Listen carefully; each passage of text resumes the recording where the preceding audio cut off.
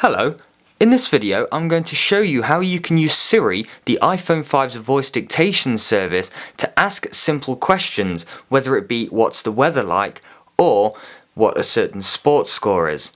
You can activate Siri by pressing down the home button for a few seconds, and then the user interface will change, accompanied by a bleep.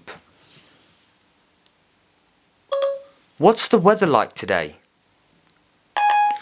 So it recognises. I don't know where you are, but you can help me find out. In Location Services settings, turn on both Location Services and Siri, or you can just tell me where to check the weather. So I could go and turn Location Services on, which I'll show you how to do in a moment. What's the weather like in Derby? The weather's looking good for Derby, England today. Up to 7 degrees and partly sunny.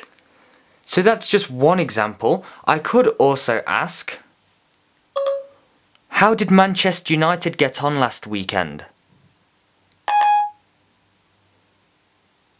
Let me check on that.